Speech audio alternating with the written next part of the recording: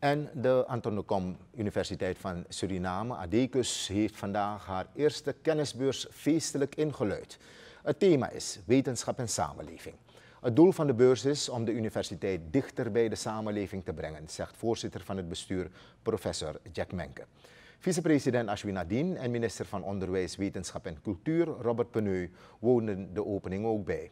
Zowel professor Menke als de minister stonden stil bij de belangrijke rol van de universiteit. Met deze kennisbeurs willen we niet alleen de samenleving presenteren wat onze producten zijn, hoe we onze producten en onze diensten begrijpelijk en toepasbaar maken voor het publiek.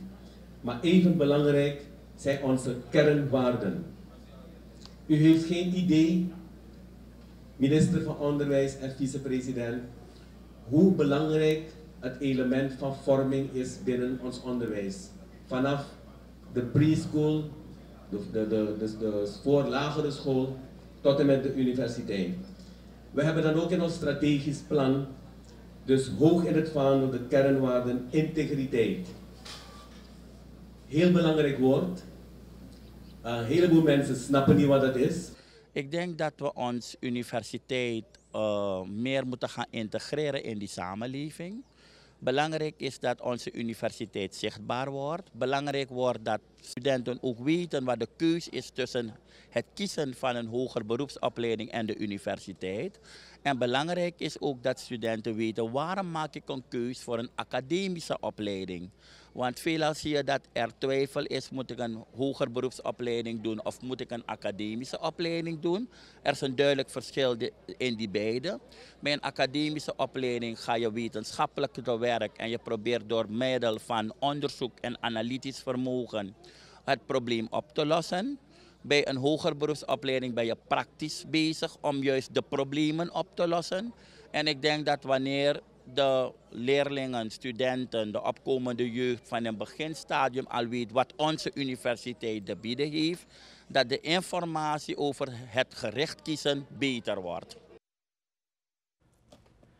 Aldus minister Robert Peneu van Onderwijs. Daarvoor zag je professor Jack Menke, voorzitter van het Anton de Kom Universiteit Bestuur. Bezoekers die behoefte hebben aan informatie over de verschillende studierichtingen kunnen bij de vele fleurige tenten op het IGSR-terrein terecht. De ADEC-studenten dragen ook een steentje bij aan de informatiestroom. Een van de docenten van de faculteit Humanioria, Narinder Mukamsing, besloot samen met zijn studenten de cultuurgeschiedenis van de Hindustanen in Suriname te presenteren. Hij vertelt over de ontwikkeling van de Hindustaanse muziek vanaf de emigratie. Indiërs komen van het platteland uit India. En ze hebben de regionale volksmuziek, volkskunst meegenomen. En die hebben ze op hun manier, zo goed als kwaad mogelijk was, ontwikkeld. Het was door de druk van de situatie. Uh, onderling komt de competitie tussen muzikanten. De religieuze groeperingen hadden hun eigen manier om met muziek om te gaan. En dat heeft de muziek laten groeien. En daar is toen bij Tagana als mooi product ontstaan. Je hebt de klassieke periode waar zware nummers worden gebezigd, gezongen. En die is door de komst van Bollywood, de moderne media, is, is, is gemoderniseerd. Moderne instrumenten uh, werden binnengehaald, zoals mandoline, bongo, gitaar.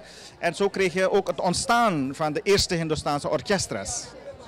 En dat heeft weer een eigen leven geleid. Dat is ook een onderzoek waard. Hele, het orkestrawezen onder de Hindoestanen. De Baitagana heeft zich dan ook verder aan een andere kant ontwikkeld en dat is de chutney. Alus Narinder Mukansing, docent van de faculteit uh, Humanioria van de Anton de Kom Universiteit. Vandaag tijdens de opening van de kennisbeurs. Deze duurt tot en met 12 november. Trouwens, uh, zometeen omstreeks kwart voor zeven hebben we een live flits vanuit het uh, ADEC-complex in verband met deze kennisbeurs.